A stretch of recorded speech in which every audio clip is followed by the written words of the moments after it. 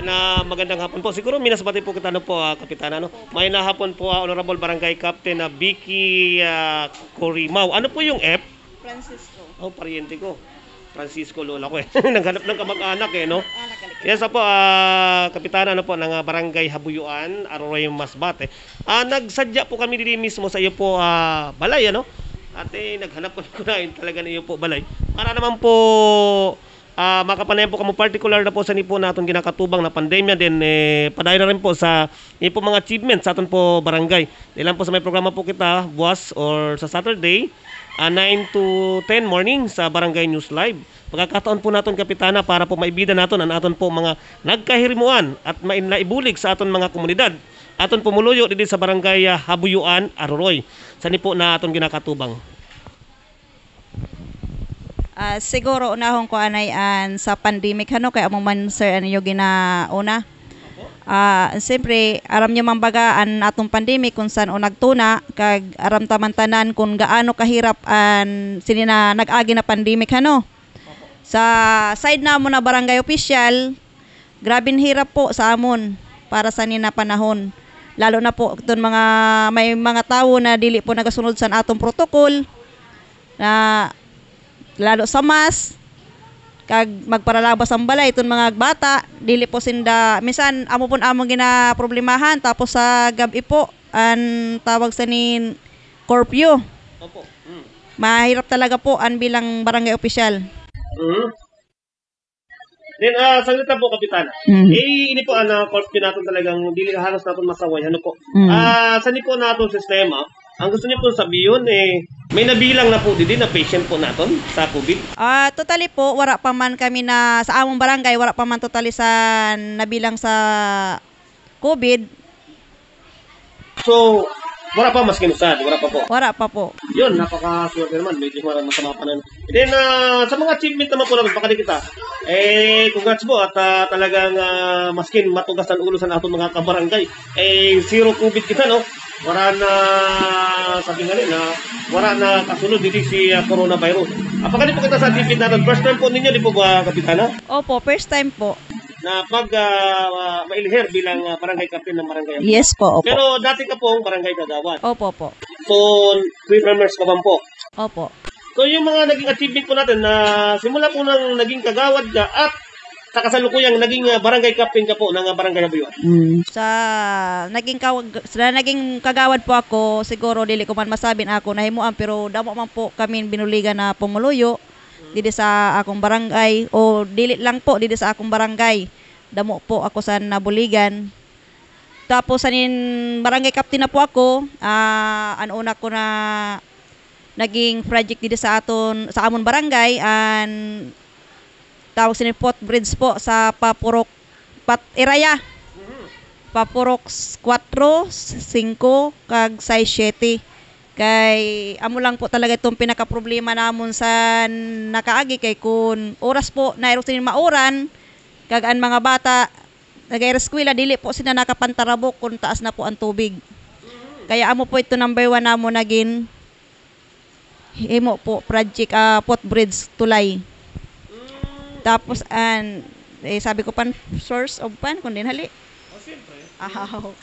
Ang source of fund po sa to hali po sa syempre sa amon pinalangga na mayor kan Mayor Arturo Bertosio po dito po halian amon fund. Ah, sa bulig po.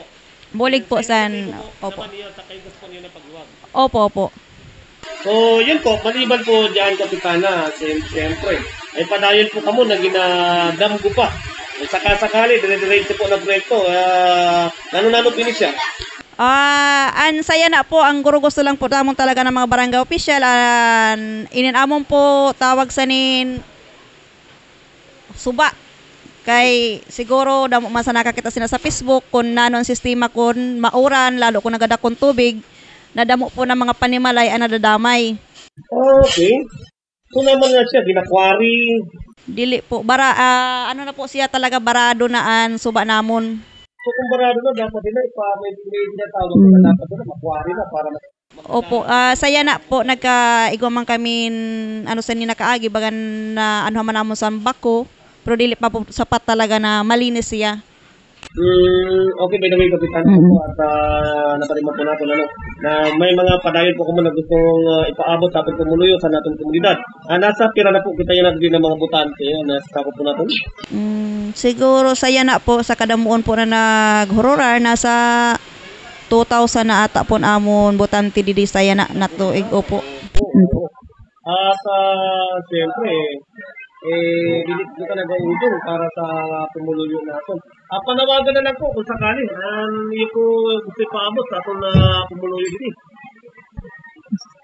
Ah, ang gusto ko lang po ipabot sa pumuluyo ko sa Barangay Habuyuan, ah, dapat po kami mag-urusad tanan para po sa amon barangay.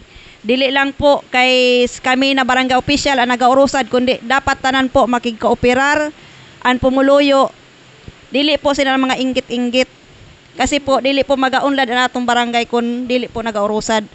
Pero kung matahom siguro ang pag urusad sa barangay o mga ah, lalo na po pumuluyo nakig-usad sa barangay official, siguro po mas maganda maangat po namong barangay. Mm, okay. Ah, last question po. May tatanong ka ba, Jeff? Wala ka pa hindi pa ako. May last question na po ako sa iyo. Kasi may nadudod, may naano po ako sa Ma-open na ah, this ah, December 1. Ah, ma-open na po yung ating mga patukada sa legal po na bulangan sa dako. Then, ini pong ah, may iba po dito sa aton na talagang people natin magpapaksin. Sa akon po na anuhan po sa akon barangay, willing man po tanan magpabaraksin po. Hmm, may mandatory po sa iyo. Igwa po. So, may na may na-help na po ba di uh, dito po sa ating barangay sa pagbaksin? May lugar na po ba dito na kumadi po natin na Department of Health para ano yung po kumulo yung mabaksinan? Totally po, dil, ah, wala na po ako nag-request sa taga-health po kay halapit man lang po kami sa poblasyon. Kaya kung siguro po mag ano man po mga tao sa amo na didi na lang, okay man. Dali, madali man lang pong pag-invite sa taga-health. Uh, okay, kasi na po na salamat ano po. Ah, pero yung magbabatan po ninyo, makikita po niyo sa Radyo Masbate 783. Ah, boss po, 9 to 10. Live po kita.